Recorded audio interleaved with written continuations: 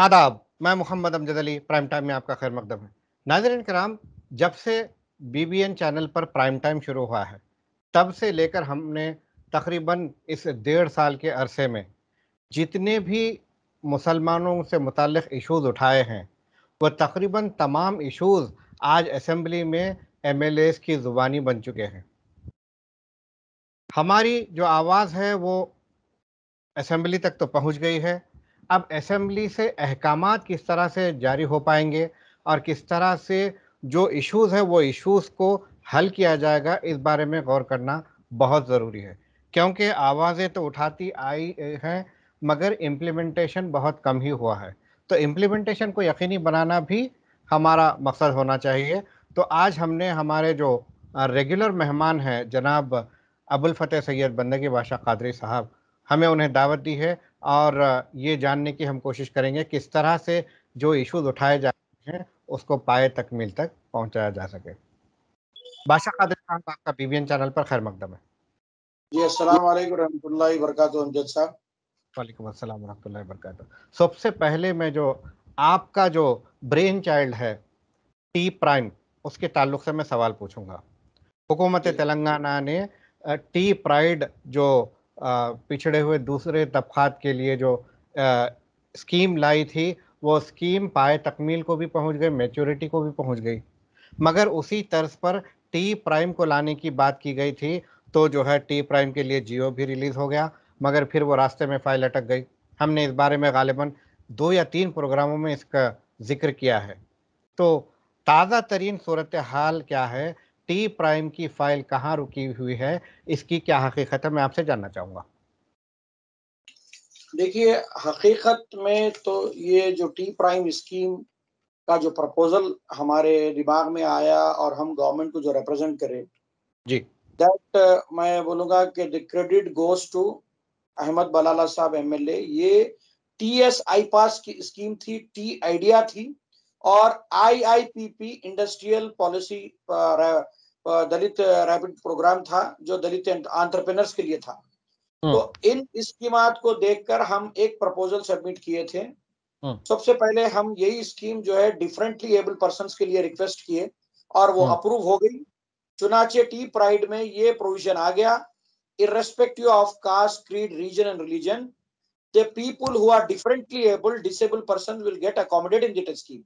जी उसके बाद हमने एक्सक्लूसिवली माइनॉरिटीज के लिए जो दलित को है माइनॉरिटीज के लिए प्रपोजल डायरेक्टर माइनॉरिटी वेलफेयर को हमने सजेशन भिजाया और वहाँ पर जब एमजे अकबर साहब डायरेक्टर थे जनाब एमजे अकबर साहब जब डायरेक्टर माइनॉरिटी वेलफेयर थे हम्म। तो उन्होंने एक कॉम्प्रहेंसिव लेटर बनाया और हमारे प्रपोजल को सेक्रेटरी माइनॉरिटी वेलफेयर को फॉरवर्ड किया हम्म। उसके ऊपर जो है फिर गवर्नमेंट में करस्पॉन्डेंस बारह रिमाइंडर्स हमारी जानब से चलते रहे। जी। फिर एक दिन आया कि GO M S number sixteen जारी हुआ असेंबली में अनाउंसमेंट हुआ हम्म।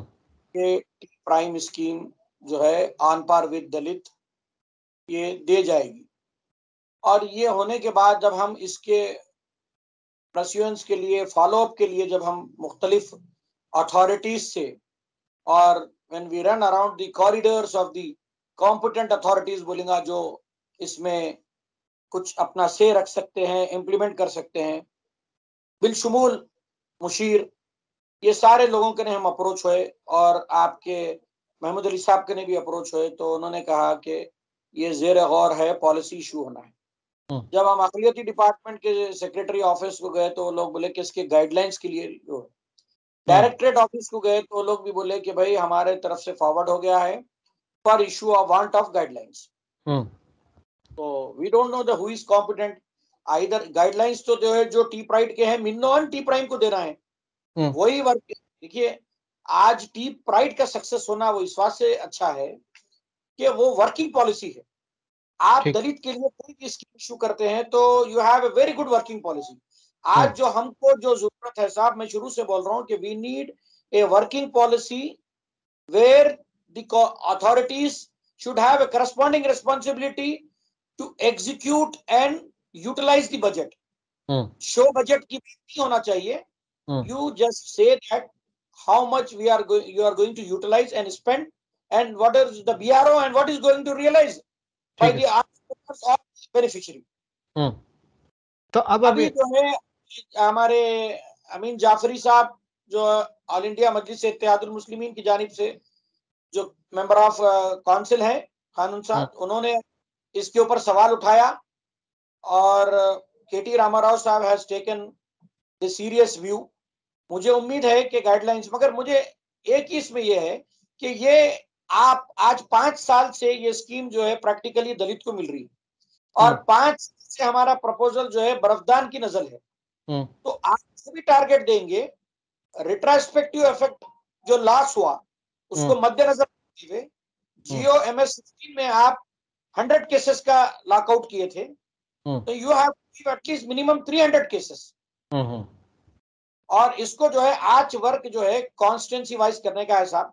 क्योंकि आप इस बात से कि अर्बन एरिया में industries are confined to urban area और दैट आप ऐसे सेक्टर में कन्फाइंड हो गए हैं फार्मा एंड केमिकल आज हमको जो इंडस्ट्री को प्रमोशन करना है रूरल एरिया में वो जो है एग्रीकल्चर बेस्ड इंडस्ट्रीज़ को प्रमोट करना है। जी। एग्रीकल्चर बेस्ड इंडस्ट्री होना है और रूरल एरिया को भी टारगेट रखना है। हम्म। तो ही जो है ये आपका सुनहरा तेलंगाना का ख्वाब जो है पूरा होगा। जी। तो आपने जिस तरह से बताया कि रूरल एरियाज़ को फोकस करना है एग्रीकल्चर और फार्मा सेक्टर को। देखिए आप इस बात से बोल रहा हूँ कि हमारा जो एग्रीकल्चर प्रोडक्शन है because of the very good policies very good agriculture policies and power backup जो पावर की फैसिलिटी हमारे कहने पावर है Telangana state have a pride and proud to have lot of paddy और हमारा जो कंट्रीब्यूशन है एफसीआई हम्म। को एफसीआई के गोडाउन को वो हम्म। सबसे ज़्यादा तेलंगाना स्टेट का कंट्रीब्यूशन है एफसीआई गोडाउन से। और आज प्रॉब्लम क्या है? एफसीआई ने एफसीआई ने परचेजिंग कैपेसिटी रिड्यूस कर दी है। परचेज हम्म, है उन्होंने रिड्यूस कर दिया है। और वो क्यों कह रहे हैं? It is nothing but an helipad to implement new agriculture policy contract based purchasing वो कॉन्ट्रैक्टर्स को इनकरेज करने के लिए एफसीआई की पॉलिसी जो है Aahista Aahista purchasing capacity decline हो रही है। तो ऐसे मौके पर जहाँ हमारा प्रोडक्शन एग्रीकल्चर में ज़्यादा है तो नेचुरली हम्म। जो है post harvesting food processing agriculture based and आपके जो है improve the logistic system and working policy for exports आप देखिए कॉमर्स एक्सपोर्ट प्रमोशन डिपार्टमेंट हमारा जो है कभी भी जो है ग्रेड थ्री ऑफिसर जो इंडस्ट्रीज़ का होता था वो। हमारे यहाँ जो है deputy director grade four gazetted officer होता था कॉमर्स हम्म। एक्सपोर्ट में कॉमर्स एक्सपोर्ट प्रमोशन जो है हमेशा एक इम्तियाजी हैसियत रखता था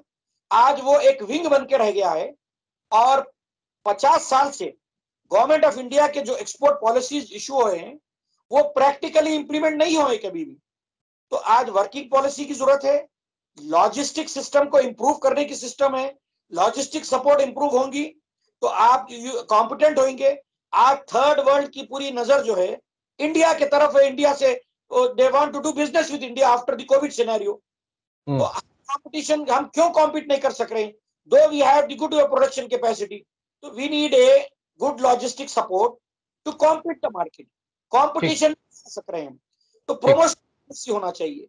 वर्किंग पॉलिसी होना चाहिए। Please don't issue a paper policy and don't make a policy paralysis without having the implementation aspect. You should have an watchdog on implementation. Practical देखिए आप कितने स्कीम्स गवर्नमेंट ऑफ़ तेलंगाना के स्कीम्स को देखिए आप। शादी मुबारक स्कीम है। हम्म। स्कीम है। अपन इंशाल्लाह दूसरे स्कीम्स के बारे में बात करेंगे। उससे पहले ये दो तीन सवाल है मेरे।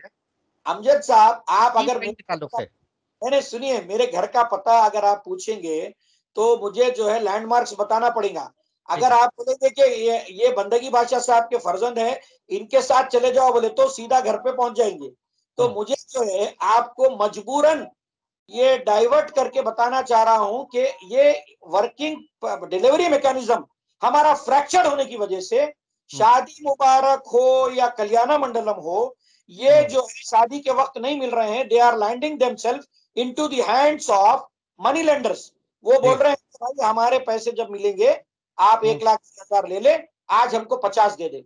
अगर आप इनको बर वक्त दिए तो डिलीवरी मैकेनिज्म इंप्रूव करें तो ये मनी लेंडर्स इंकरेज नहीं होंगे ना। तो ये आपका जो है एम एमएस देखिए माइक्रो एंटरप्रेनर्स फाइनेंसिंग स्कीम्स तो आपकी टोटली फ्रैक्चर्ड है।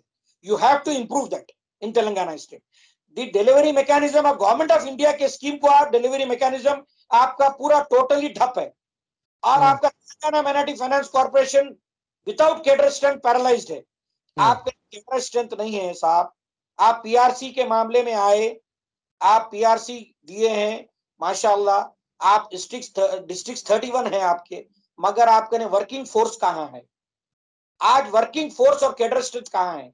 हम्म। किधर किसी डिपार्टमेंट और माइनॉरिटी डिपार्टमेंट एक ही साथ कायम हुआ? उनकी कैडरेशन देखिए आप यहाँ की देखिए अब आप देखिए जीवन रेड्डी साहब की बात को महमूद अली साहब ने बड़ी अच्छी खूबी से बताया कि भाई centre of excellence Sufi institute कायम होना चाहिए बहुत अच्छी चीज़ है नीड ऑफ़ दी अवर है हम्म। जीवन रेड्डी साहब ने कहा कि चार साल से बालकुंडे का प्रपोजल दरगाह हज़रत सैयद शाह बंगी बादशाह खादिर रहमत जद अमजद का जो सूफी सेंटर ऑफ़ एक्सलेंस का सबसे पहले प्रपोजल गया था हाँ। आबेद साहब ने फॉरवर्ड किया था माइनॉरिटी कमीशन से एमजे अकबर साहब ने फॉरवर्ड किया था वक्फ बोर्ड ने फॉरवर्ड किया था वक्फ बोर्ड ती, तीन से ज़्यादा मरतबा रिकमेंड करके तो हाँ। आज क्या दे रहे हैं ऑफिसर कि भाई वो डीएमडब्ल्यू करने पेंडिंग है तो हाँ। इसके ऊपर जो है करस्पॉन्डिंग रिस्पॉन्सिबिलिटी को लॉग आउट किया जाए पूछा जाए ये वेग रिप्लाई और रॉन्ग रिप्लाई दे रहे हैं जबकि। वहाँ जो कि जमाना हो गया हम्म। और minister is committed to give the same reply which has given the feedback by the this officers ये ये तो मेयार है तो केटीआर साहब की नीयत अच्छी है, केटीआर साहब की पॉलिसीज़ अच्छी है। The way he speak and the way he delivers it's amazing he has a very good opinion उनकी नीयत बड़ी अच्छी है। ओल्ड सिटी डेवलपमेंट के बारे में लीजिए, काफ़ी चीज़ों के बारे में उन्होंने कहा। हर पॉलिसी अच्छी है, मगर इंप्लीमेंटेशन और वे लूप होल्स कहाँ है? क्या कर रहे हैं? आप फेरिस देखिए, इतने स्कीम्स आए। अब अगर एसएससी का एग्ज़ाम होता तो फिर मालूम होता फिर आपका आपका जो सीडीएम में है वहाँ से कितने हाँ, लोग जो थोड़ा यहाँ पे डाइवर्शन में रोकना चाहूँगा। आपने आपकी जो दूसरी दो बातें गिनाई है शादी मुबारक स्कीम और सूफी सेंटर ऑफ़ एक्सेलेंस हम आ, हमारा ओरिजिनल टी प्राइम टॉपिक और ये दो टॉपिक को करेंगे और इनशाला गुफ्तु को समेटेंगे। इनशाला अगले एपिसोड में दीगर इश्यूज़ पर बात करेंगे। मैं ये जानना चाहूँगा कि शादी मुबारक जो स्कीम है उसको अगर बर वक्त दिया जाए तो वो ये जो वसीक़े बेचने की बात हो रही है ये नहीं होगी तो हम्म। कितनी ताखिर हो रही है किसी लड़की की शादी के कितनी ताखिर से चेक मिल रहा है उसे देखिए दो मरतबा मैंने देखा कि रो, रोजनामों में भी और वीकली पेपर्स में उर्दू में आया था कि हम्म। वो जो बेनिफिशरी है हम्म। उनके वालिद बोल रहे थे कि मेरे बच्चे के छिल्ले में पैसे कब आए मुझे शादी के पैसे चिल्ले में आए वो ठीक है। मिले कब? वही चिल्ले में मिले एक साल बाद डेढ़ साल बाद। ठीक है।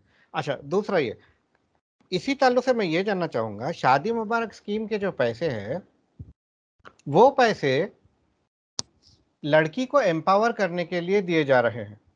जी। एम आई राइट राइट आप अगर कोई ऐसे लोग हैं जो अपनी लड़की की शादी में बेजा अखराजात कर रहे हैं और वो अखराजात करने के लिए साहूकारों से पैसे ले रहे हैं कुछ परसेंटेज पे। कहाँ तक दुरुस्त हुआ? साहब देखिए आप यहाँ पर हम मकसद जो असल मकसद है Shaadi Mubarak Kalyan Mandalam it is for the purpose of marriage okay empowerment you have for the purpose of financial security of bride. Yes yes bride and that to that to be delivered in time. आप एक छोटी मिसाल ले लीजिए passport verification system कितना fast हो गया? आज पैरालाइज जो डिलीवरी मैकेनिज्म है सिर्फ़ वेरिफिकेशन ही है ना इसमें। आप एमआरओ करने से वेरिफिकेशन है आपके इधर से आप वेरिफिकेशन को जो है दूसरे डिपार्टमेंट से टाई अप कर दिए। आप प्रोसीजर एंगल्स कर दिए। आज पासपोर्ट कितनी अहम चीज़ है साहब that is a very sensitive issue वो डिलीवरी हाँ। इतना फास्ट सिस्टम हो गया है आज आप सबमिट करके आइए फ़ोन आता है पुलिस का कांस्टेबल का उसी दिन वेरिफिकेशन होता थर्ड डे पासपोर्ट आ रहा। बहुत इंप्रूवमेंट तो आया है। वो बड़ा प्रोजेक्ट नहीं है शादी तो ढडोरा पीट के होती शादी खाने में होती। इसका वेरिफिकेशन तो जो है सेटेलाइट से कर ले सकते। ठीक है आप जो फरमा रहे हैं टोटली एक्सेप्टेड डिलीवरी मैकेनिज्म बेहतर बनाया जा सकता है। साथ ही साथ मैं यहाँ पर यह भी कहना चाहूँगा कि जिस तरह से वाक़ात पेश आ रहे हैं जिस तरह से इंकशाफात हो रहे हैं मैं ये समझ पा रहा हूँ शादी मुबारक का जो पैसा है उसका गलत इस्तेमाल कर रहे हैं लोग। जो औरत की फाइनेंशियल सिक्योरिटी के लिए दिया जा रहा है वो बेजा रसूमात में खर्चा जा रहा है। ये नहीं होना चाहिए। वो पैसे उस ब्राइड के हैं वो ब्राइड के फलाह व बहबूद में काम में आनी चाहिए। अब दूसरा ये मैं जानना चाहूँगा कि Sufi centre of excellence pending with आपने बताया डीएमडब्ल्यू जी। तो ये ये कैसे आगे बढ़ सकती है? नहीं नहीं सूफी सर डीएमडब्ल्यू से तो कब के डिस्पोज हो गया। ये वेग रिप्लाई डिपार्टमेंट डायरेक्टरेट वाले रिप्लाई दे दिए फ़ीड बैक फ़ीड कर दिए होम मिनिस्टर साहब बोल दिए। तो ये जो है मजीद देखिए एक चीज़ को आप डायरेक्टरेट ऑलरेडी रिकमेंड कर चुका है। हाँ। उनको जो है जो करस्पॉन्डेंस माजी करस्पॉन्डेंस है उनका दैट दे ब्रिंग गवर्नमेंट है कुछ चीज़ पूछी है उनको गवर्नमेंट को देना है। हाँ। तो गवर्नमेंट आप जब देखिए कॉम्पिटेंट अथॉरिटी जो भी वक्त के मैटर्स में वक्त बोर्ड है। हाँ। जब Waqf board has already recommended you have you yourself has already recommended in the past when the work board is recommended you have to forward the same paper to the government secretary minority welfare आपसे पूछ रहा है आप ज़ाहिर बात है मुताल जो वक्फ institution की बात होगी तो आप वक्फ बोर्ड से फीडबैक लेंगे तो वक्फ बोर्ड से आप फीडबैक ले लिए हैं आप वो फीडबैक फॉरवर्ड करिए you are just forwarding agency in between the government and the other corporations work board urdu academy whatsoever working under the directorate of minority welfare तो आप खाली जो है डिलीवर डिलीवरी सिस्टम आपका जो है चार चार साल करस्पॉन्डेंस को आप विथेल्ड करके रख रहे हैं। आप मैं मैं फौरी जो है डीएमडब्ल्यू से पूछा उन्होंने बोले हम तो डिस्पोज करके तीन दो एक साल से ज़्यादा हो गया। हम्म, ठीक तो है। बताइए। तो अब आप ये जो जो, जो भी हीले हवाले बना रहे हैं वो हीले खत्म करके इसको मुमकिन कैसे बनाया जा सकता है? कौन इसके जो है पावर रखते हैं इसका? देखिए ये तो डायरेक्टरेट माइनॉरिटी वेलफेयर की असर नौ से अब्जॉर्प्शन से जो लोग आए हैं इनका माजी डिपार्टमेंट में क्या था? हम्म। इनकी जो है क्रेडेंशियल रिपोर्ट लेना चाहिए इनके क्वालिफिकेशन हम्म। को चेक करना चाहिए। ये ये डिपार्टमेंट में ऑब्ज़र्व होकर एक्सेलरेटेड प्रमोशंस लोग हासिल करे हैं। They are not justified the, the, the delivery system is very poor in the directorate office. We need a ias not below the rank of principal secretary. Actual ये commissionerate है। ये commissionerate minority welfare है। इसमें principal rank का officer होना चाहिए जो commissionerate कहलाए। आप जो बिलो रैंक होगा तो डायरेक्टरेट होगा। क्योंकि ये जो है आपके और भी अबव केडर के ऑफिसर्स को करस्पॉन्डेंस करना इसका जब वो जाता है हेड ऑफ़ द डिपार्टमेंट का तो यहाँ पर चाहिए जैसे कि आपके इंडोमेंट कमिश्नर है उसी तरीके से कमिश्नर और माइनॉरिटी वेलफेयर भी वैसी होना चाहिए। बल्कि आज एक और जुमरा इसमें इजाफा कर लीजिए आपके सवालात में। आज जीवन साहब ने आमलाना अख्तियार की बात की वक्फ बोर्ड की। वक्फ बोर्ड की। इनशाला वक्फ बोर्ड का इशू अगले अगले एपिसोड में। आज हम प्री टी प्राइम की बात को ख़त्म कर लेते हैं। टी प्राइम का आपने जो कहा है अब मौजूदा ताज़ा तरीन सूरत हाल क्या है? अब जबकि असेंबली में फिर से वो इशू उठाया गया है। कौन इसको रोक रखा है और किसकी जो है किसके इख्तियार में यह है कि उसको पुश करें और जो है अमली जामा पहने ये दो डिपार्टमेंट का काम है हम्म। क्योंकि इसके अंदर जो है आपके एग्जीक्यूटिंग एजेंसी इंडस्ट्रीज़ डिपार्टमेंट को बनाया है हम्म। बड़ा अच्छा है कि डिपार्टमेंट से फेयर काम हो जाएगा क्योंकि वहाँ पर दलित को भी काम अच्छा इम्प्लीमेंटेशन हुआ तो इम्प्लीमेंटिंग एजेंसी इंडस्ट्रीज़ डिपार्टमेंट है अब हम्म। इसको अगेन ये इसके अंदर आगे जब ये वर्किंग पॉलिसी इशू होंगी इसके गाइडलाइंस जब इशू होंगे ज़ाहिर बात है गाइडलाइंस तो मिनो एंड टी प्राइड के होंगे। बिकॉज़ हमने आन पार विद दलित पूछा है। तो क्या ये अभी तक एक्सेप्ट नहीं किया गया है कि टी प्राइड के गाइडलाइंस को ही टी प्राइम के लिए फॉलो करना है? सिंपल है वही उसको जो है गाइडलाइंस बनाने के for the want of guidelines it is pending तो अब ये कौन इसके मजाज है? देखिए secretary minority welfare and secretary industries both are correlated with each other corresponding है दोनों। ठीक है। तो अब ये दो हजरात इसके जवाब दे। हैं जी। ठीक है अब देखना है ये दो हजरात जी। स्कीम प्यारी है इंटरेस्ट रेट बिल्कुल नेग्लिजिबल है थ्री परसेंट पर आप इंडस्ट्रियल इंफ्रास्ट्रक्चर कॉर्पोरेशन आप इंश्योरेंस कॉर्पोरेशन की आप वो गारंटी लेते हैं तो विदाउट एनी कोलेटरल सिक्योरिटी देना है। कंस्ट्रक्शन हम्म। के बिज़नेस को लोन दे रहे हैं। और हमारा तबका मखसूस तिजारती ट्रेड्स और प्रोफेशन से जो है मखसूस है, जो ट्रांसपोर्ट हो या कंस्ट्रक्शन हो, आपको एक, अगर कोई इंडस्ट्री प्रोडक्ट एक, आपको एक रिबिट भी बनाकर मार्केटिंग करना है तो it is very difficult job. आप जो है हमारा शादी खानों से लेके, फ़ंक्शन हॉल से लेके, कन्वेंशन सेंटर से लेके, रोड एंड बिल्डिंग से लेके, कंस्ट्रक्शन, ये सारे चीज़ों में ये अकलियती तबका जो है, उसी में ज़्यादा इम्तियाज़ हासिल रखता है। चुनाचे इस स्कीम में सर्विस अपार्टमेंट जैसी चीज़ों पर कंस्ट्रक्शन पर अगर दो करोड़ रुपए अगर आप लोन लें तो सेवेंटी फाइव लैक्स की सब्सिडी ठीक। तो इसी वजह से ये स्कीम माइनॉरिटीज के लिए बहुत ही फ़ायदा बख्श होगी। और मैं फिर कहूँगा कि स्कीम की तरफ़ तवज्जो दिलाने में और असर नौ से इसकी जो इब्तदा जो की गई थी अहमद बलाला साहब हल्के मलकपेट के हमारे एमएलए उनका बहुत बड़ा इसमें रोल रहा। ठीक है। आपका बेहद शुक्रिया। नाजरीन ये थे जनाब सैयद बंदगी बादशाह कादरी साहब। इन्होंने टी प्राइम की स्कीम के बारे में फिर बताया है कि जो है इतनी प्यारी स्कीम होने के बावजूद ये किन मराहल में अटकी हुई है और इसके कौन कौन जिम्मेदार है वो भी बता दिया है। अब अरबाब मजाज तक जब ये हमारा वीडियो, हमारा प्रोग्राम पहुंचेगा तो देखते हैं वो क्या कदम उठाते हैं। क्या ये मजबूर हो जाएँगे कि इस इस स्कीम को इम्प्लीमेंट करें या फिर कोई और बहाने उनके पास तैयार हैं। देखते हैं और इंतज़ार करिए इसके ताल्लुक से। और हमें दीजिए इजाज़त अगले एपिसोड तक के लिए। शब खैर